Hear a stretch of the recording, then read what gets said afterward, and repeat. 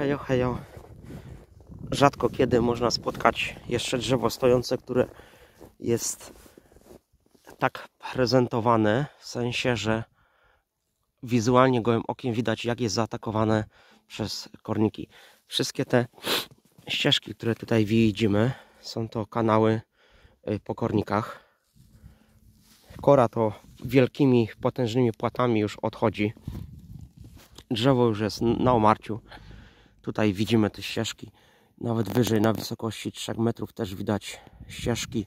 Na wysokości, nie wiem, 7 metrów też już nie ma kory. Widać ścieżki wyżej konary.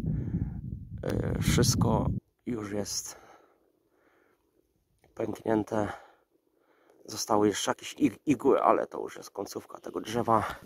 Będzie już gotowe do ścięcia przez leśników i do wykorzystania jako surowiec kolejny.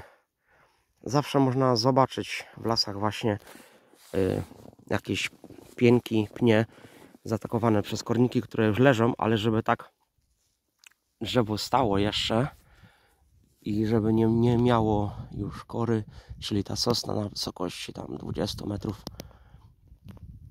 widać kanały i ścieżki korników o długości po 5-7 metrów. Oczywiście nie połączone, tylko no i tak to wygląda. Wszystko jest opanowane przeze mnie.